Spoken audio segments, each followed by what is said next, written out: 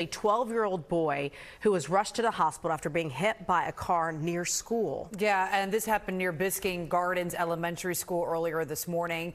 NBC6's Olivia Jaquith joins us live from the scene in Northwest Miami-Dade. Uh, any word on, on how that boy is doing, Olivia?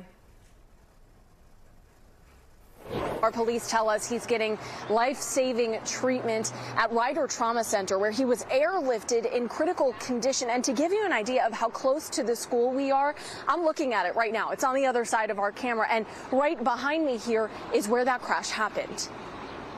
A scary morning for loved ones after a 12 year old boy was hit by a car while crossing the street right by Biscayne Gardens Elementary School.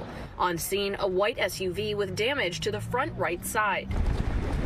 Miami Dade police and schools police seen putting up crime scene tape and placing evidence markers in the road. With the elementary school right here, this is a school zone. So from 7:15 to 9:15 a.m. and again in the afternoon, the speed limit is 15 miles per hour. But surveillance video from a neighbor shows Miami-Dade Fire Rescue responding to the scene at 712, just a few minutes before that slower speed limit would have been in effect. NBC6 cameras were rolling as a woman who says she's the boy's grandmother expressed her heartbreak and frustration, saying drivers speed down this stretch of Northwest 151st Street all too often.